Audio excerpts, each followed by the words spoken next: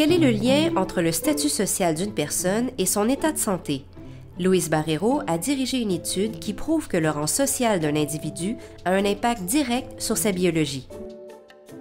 We know that one of the main uh, factors that explains health disparities in humans it's, uh, it's, it's basically variation in social status and socioeconomic status.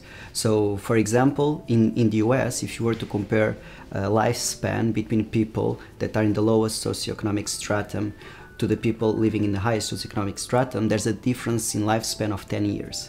So most people will think that these differences in, in health outcomes are really due to environmental uh, factors but there, there was some, some work that suggests that there might actually be a causal link between variation in social status and actually the way your cells respond, for example, to an infectious agent.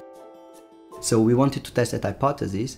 Doing such studies in humans, as you can imagine, is very hard. We cannot manipulate social status, and that's why we decided to study uh, rhesus macaques, where we can experimentally manipulate social ranks while keeping all the other variables uh, constant.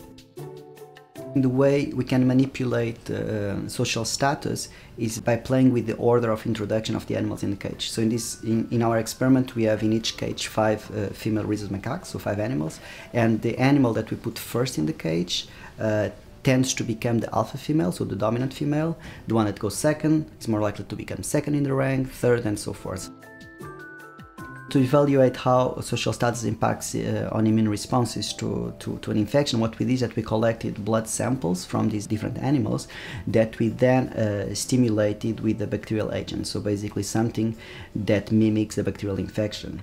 And, uh, and then following that stimulation, that infection, uh, what we did was to use next generation uh, sequencing technologies to measure gene expression levels of all the genes that are being uh, expressed and active in, these, in the immune system of these animals.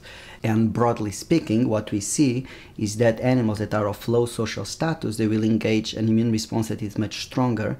It's uh, exacerbated as compared to that that we observed on high social status animals.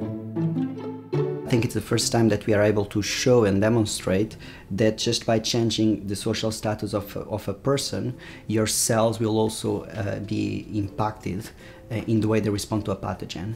And, uh, and the other important findings that these effects are highly uh, plastic and reversible. So if you actually change your social status, your cells will also change accordingly and start responding uh, the way your new social status uh, pr will predict.